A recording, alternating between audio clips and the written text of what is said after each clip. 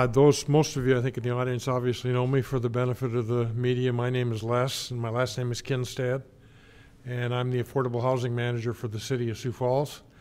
And so want to thank you, uh, all the folks who could come down. They're partners of ours that support us and make these kinds of uh, efforts go. Uh, I could talk for a long time, but I won't, uh, about the people that made this all come about. Uh, we'll talk about that a little bit later, but we're pretty excited today. Uh, a lot of times when you work in the public sector, one of the things that I know I've looked for for years and we try to find is to have data-driven decisions or, or actual bona fide measures of what we do. And uh, for a long time, uh, Darren Smith, uh, Darren Ketchum's predecessor, Darren Ketchum, and myself uh, had talked about this program and said we really want to have something that's a bona fide, legitimate objective third-party take uh, of what we're look at what we do in this program. So that's kind of the culmination today.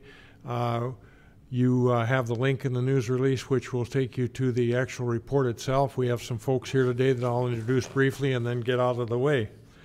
Um, Cindy Dannenbrink. Cindy's uh, been in on, a number of different news conferences that we've had. We have different programs with them, but Cindy's the director of the Interlakes Community Action Partnership and they are the entity that runs the Bright Futures program.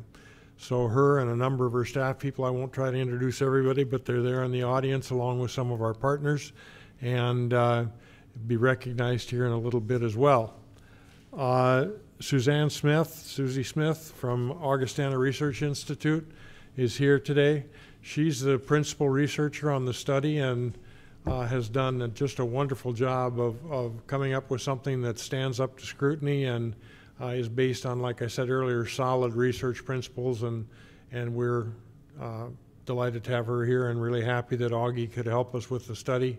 Uh, so thank you very much.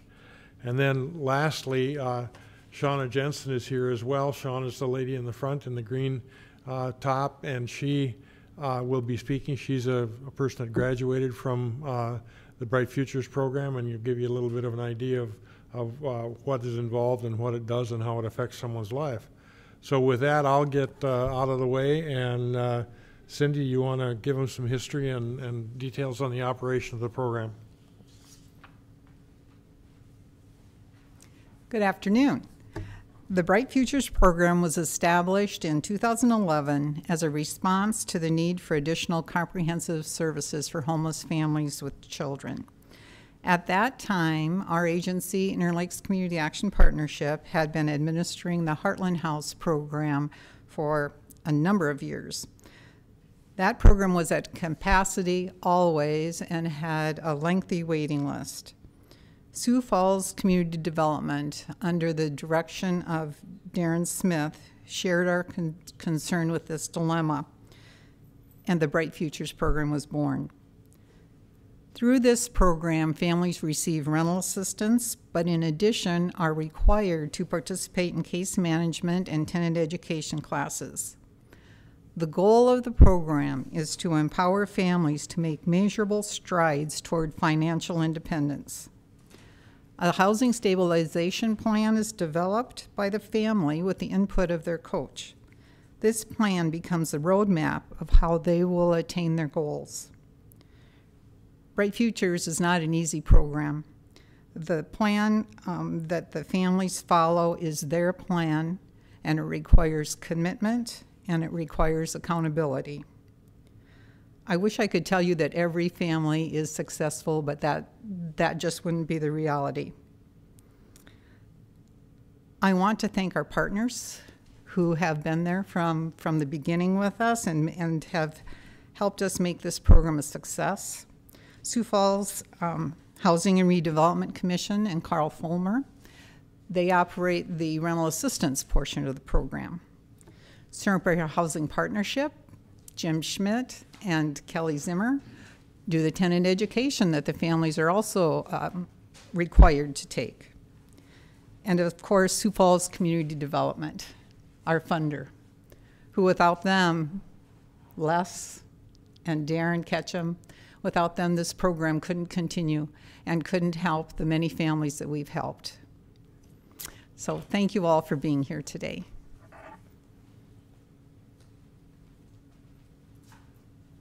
Before we go on and, and have our main speaker for today, I also wanted to, probably did not thoroughly enough recognize the contribution of Augustana College to, uh, or Augustana University, I still back a a number of years ago calling it a college, uh, in the work that they've done.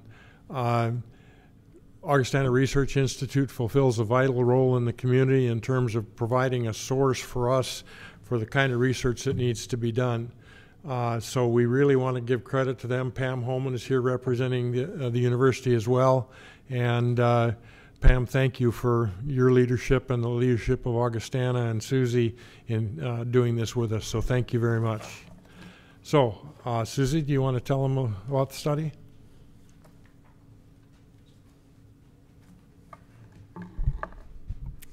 Hi, I'm Suzanne Smith. I'm the director at the Augustana Research Institute. And I'm going to walk you through some of the high level findings from the study of Bright Futures. Uh, the full report, as Les mentioned, is available online now, so you can find that. The purpose of this report really was to assess whether and to what degree Bright Futures successfully increases self sufficiency for participants, both financial self sufficiency and also housing stability what we did for this evaluation was really um, two parts. The first part of the study and, and the bulk of the study was a retrospective pre post comparison. What I mean by that is that we looked at families who entered Bright Futures at the time that they entered the program, and we compared that to how those same families looked at the time they left the program. We spent most of this winter, from December through March, combing through administrative records, case files, um, all of the documentation of what had happened to these families during their time in Bright Futures, dating all the way back to the program's founding in 2011. We also conducted a follow up survey with graduates of the program who had left the program anywhere between six months and six years ago. Uh, and I do owe a debt of gratitude to those participants who took the time to complete that survey and to share their experiences with us. I know I learned a lot from them. The second part of the study was a quasi experimental comparison where we looked at Bright Futures families and compared them to similar families who had received a housing choice voucher or rental assistance but had not received case management. The purpose of that comparison was twofold. First, we wanted to be able to control for background changes that might have happened in the community while these participants were in Bright Futures. We wanted to be able to say that if Bright Futures participants did increase their earnings or did increase their employment, it really was because of something that happened in Bright Futures and not something that all families in Sioux Falls had experienced during that time period. So we needed a comparison group. The second purpose of this comparison was to really test the effect of adding case management on top of rental assistance uh, to see what difference it makes to have someone coaching and uh, providing life skills in addition to subsidizing the expense of your month to month rent. So the comparison group was similar families. They were homeless, they had children, the head of household was able to work, but they did not receive case management, was the key difference. Now, here's what we found. From entry to exit, pro, the families who participated in Bright Futures did indeed see a significant increase in their earnings, their employment rate, and they also saw a significant reduction in their use of public assistance, things like SNAP, TANF, or SSI, and also a reduction in their use of rental assistance.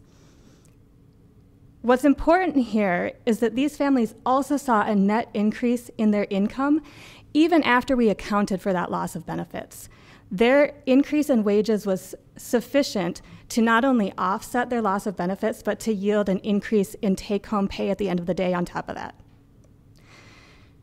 In our comparative analysis, looking at those families who did not receive case management, during the same time period, we did not see any significant change in those same outcomes. In other words, the comparison corroborated our hypothesis that it is bright futures and something about the case management that leads to the outcomes we saw for Bright Futures participants.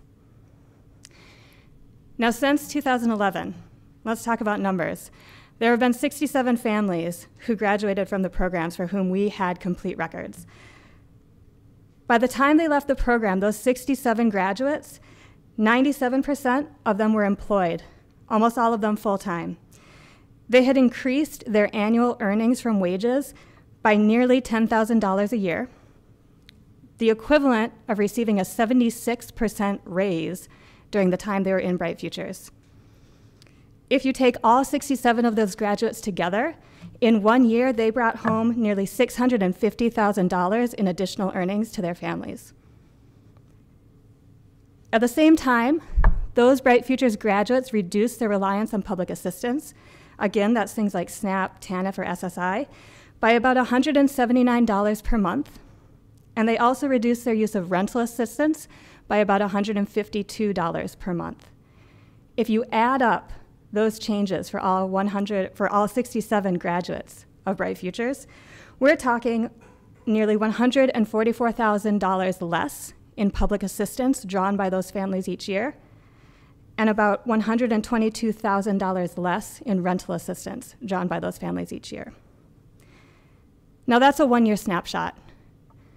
We also projected out the expected earnings over participants' lifetime in order to calculate the expected return of an investment in Bright Futures.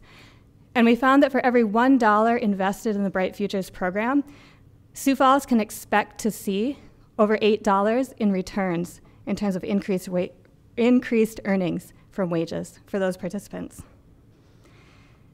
I mentioned we did a follow up survey with graduates who had finished the program years ago. And in that follow up survey, we found evidence that the gains these families make during Bright Futures are indeed long lasting. Bright Futures stabilizes financial situations, it stabilizes housing, and graduates who finish the program are able to ma- maintain those gains over the long term. When we spoke to graduates in this survey, those graduates not only talked about Bright Futures as a housing program, but perhaps more significantly talked about what they had learned in terms of money management, goal setting, and moral support that they received from their case managers. The graduates said that the stability they gained during the Bright Futures program not only put them on more stable footing, but actually served as a launching pad for them to make additional progress after the program. So that in the follow up survey, we heard from graduates who had gone back to school and who, in fact, had become homeowners years after leaving the Bright Futures program. But I am perhaps not best positioned to tell those stories, and so I am going to turn it over to Cindy once more to introduce someone else.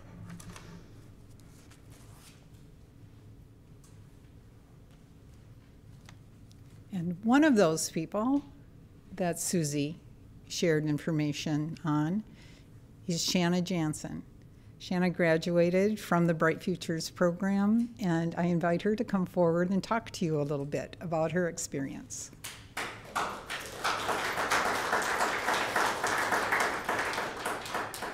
Um, Bright Futures actually taught me a lot um, to be very self sufficient, um, to handle my money very well. Um, it also taught me to be more grown up than what I was before. Um, oh, sorry. um, but yeah, it taught me a lot. Um, I didn't really have nowhere to stay at first, and um, I was actually taking my son to the Interlakes for the daycare, and then I met Elda, and um, I got into the Bright Futures program. Um, and after that, my pretty much my whole life changed. Um, it taught me how to manage my money the right way. Um, I didn't really have a credit score at the time, and it taught me how to build up my credit. Um, and it's it took me a long ways. I'm doing really well now. I've had the same job for three years now. Um, I have a five-year-old boy, and I have a daughter that's one now. Um, I don't know. Not really sure what else to say. This is my first time being up like this, so. um, but yeah, it, it taught me a lot. Um, at first, you know, I was like, oh, she gets all my checks. I don't know if I like that. But you know what? I loved it after that. I was like, oh, wow. You know, and I was very happy that I went into that program because it did. It taught me a whole lot.